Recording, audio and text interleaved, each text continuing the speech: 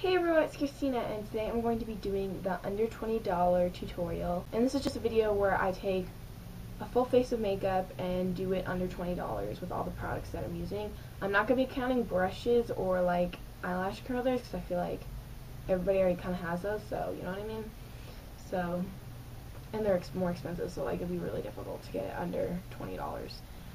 So yeah, enjoy! First we're going to start out by using a primer. I'm using the e.l.f eyelid primer. This is a dollar.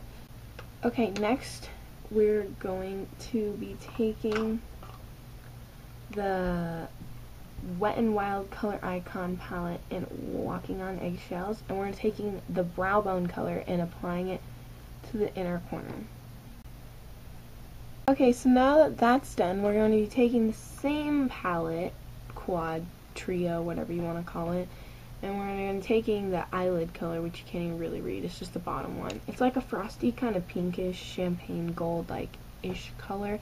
We're applying it to the rest of the lid. Okay, now that that is done, we're going to be taking, again, the same trio, and we're going to be using the um, crease color.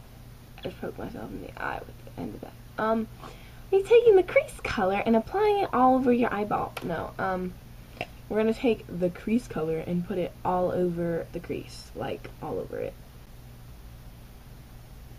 Okay, now that that's done, we're going to be taking the CoverGirl Eye Brightening Quad in Majestic Hazels. And we're going to be taking the kind of taupey color right here and applying it to the outer, like, very outer part of your eye lid.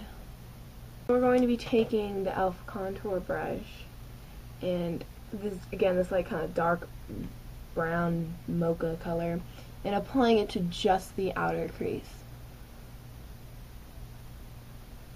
So next we're going to be taking the e.l.f. waterproof eye pen and this is in plum and this is just kind of like a pop of color sort of because it's slightly purple but it's still pretty dark like a black okay now that that's all said and done we're going to be taking eyelash curler and Essence Multi-Action False Lashes Mascara and apply, um, curling the lashes and applying mascara.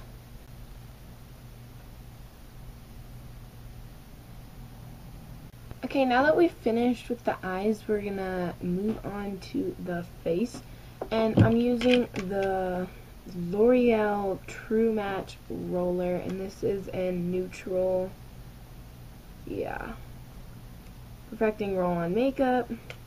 Yeah, and this, I know, normally, it's like, like when I first came out or whatever, it was really expensive, but I got it, like, when they were, like, discontinuing it, I think and so I got for like three bucks and that's the only reason why I'm including it because that's like the cheapest foundation I have.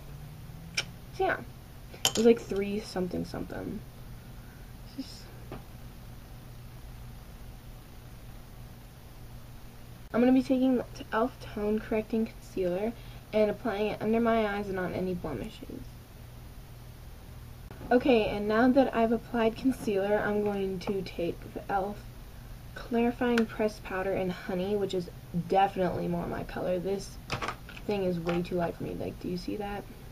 So yeah, now I look super pale, but that's alright. Anyway, I'm taking that and my kabuki brush and just kind of swirl it in there, apply.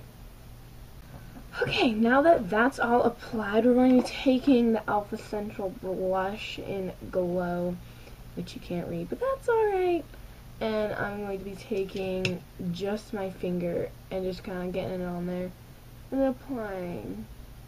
I'm going to be using the e.l.f. Essential Lipstick in Charming. I'm just kind of applying this. Okay, so this is the finished look. It looks beautiful, I, in my opinion, personally. Um, yeah, so I hope you guys enjoyed, and I'll see you later. Bye.